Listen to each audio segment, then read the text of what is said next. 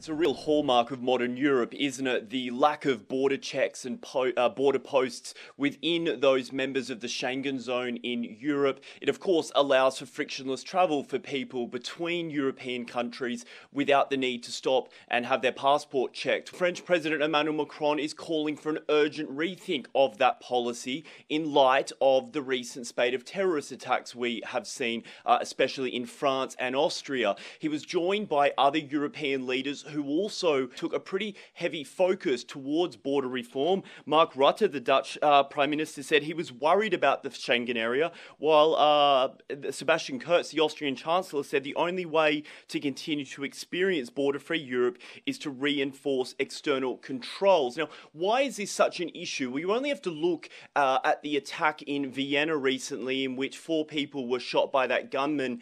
Immediately after that attack, uh, law enforcement in the Czech Republic Republic, Hungary, as well as Germany had to immediately start increasing border patrols because they were concerned that with an open border policy, any other attackers could potentially leave Austria and come to their country. So, uh, French Pre- President Emmanuel Macron says he wants to look at this issue. He has mooted the idea of a European Security Council. The details on that are still quite light, but it does just go to show how serious lawmakers are taking this new threat uh, of extremist terror here in Europe.